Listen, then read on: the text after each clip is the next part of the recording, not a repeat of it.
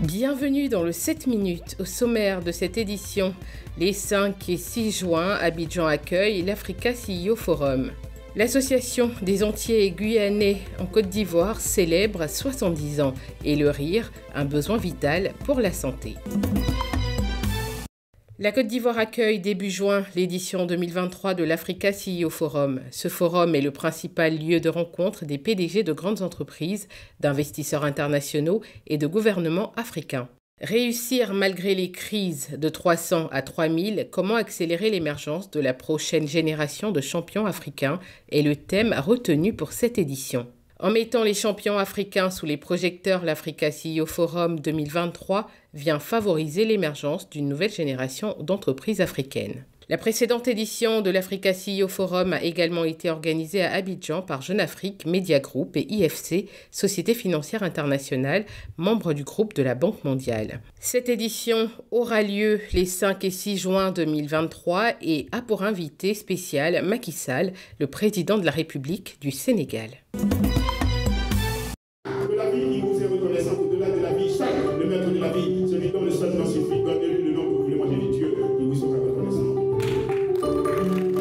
Rythme des sonorités ivoiriennes, l'association des Antillais et Guyanais de Côte d'Ivoire célèbre 70 années d'existence. La cérémonie se veut officielle, en témoigne la présence des autorités ivoiriennes, en l'occurrence le maire de la commune du plateau Jacques Ewo et la ministre de la Culture Françoise Remarque, représentant la première dame Dominique Ouattara, présidente de la dite cérémonie. Nous notons également la présence de Jean-Christophe Béliard, ambassadeur de la France en Côte d'Ivoire. L'Association des Antillais et Guyanais de Côte d'Ivoire est devenue un véritable symbole de fraternité.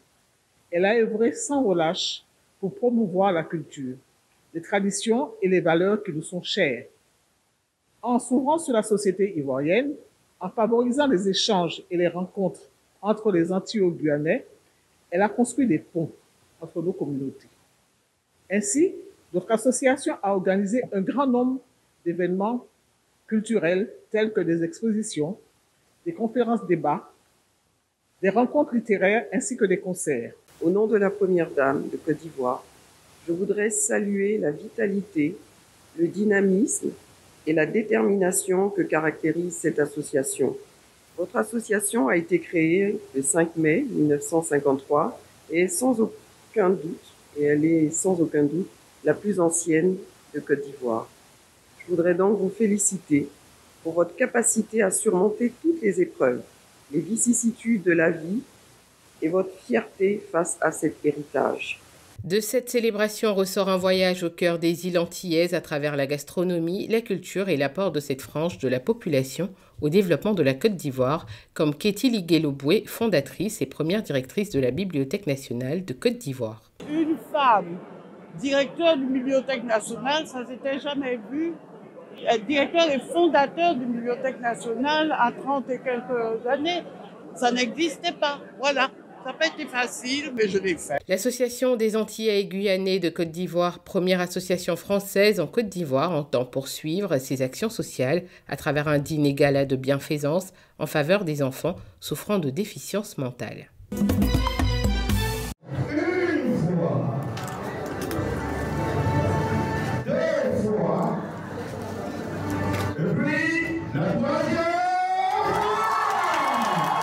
C'est fait.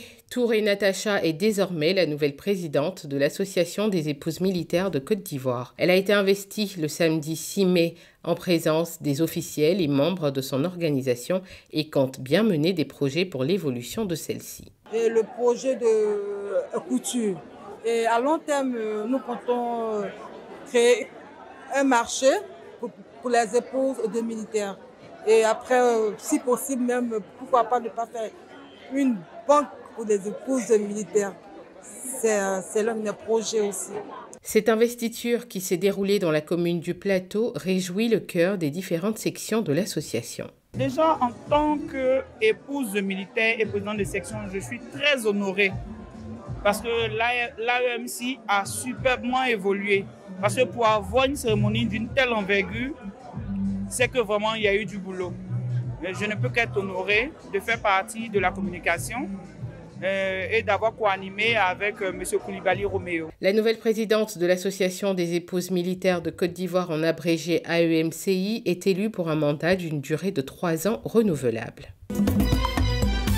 La paix mondiale par le rire, c'est ce à quoi aspire la Journée mondiale du rire le dimanche 7 mai, initiée en 1998 par le docteur Madan Kataria. Il a constaté que les patients qui guérissent le mieux sont ceux qui sont les plus joyeux. Avant d'envisager de régler des conflits politiques, notons que le rire possède d'innombrables bienfaits sur la santé physique et mentale, notamment grâce à la libération des endorphines, réduction du stress et effet bonne humeur, renforcement du système immunitaire, apaisement des douleurs, amélioration du lien social. On comprend mieux pourquoi les professionnels de santé recommandent de rire 10 à 15 minutes par jour pour être en bonne santé. Nous avons demandé aux Ivoiriens à l'occasion de cette journée ce qu'ils pensent du rire et s'ils rient régulièrement. Quand il y a la joie, moment de, de gaieté et tout, je ris. Et puis souvent, euh, devant quand il y a une blague, la petite vidéo, voilà, ça fait rire bon, ça représente euh, quelque chose de bon. Et puis, euh, c'est bon pour la santé, en fait. C'est bon pour le cœur. Voilà.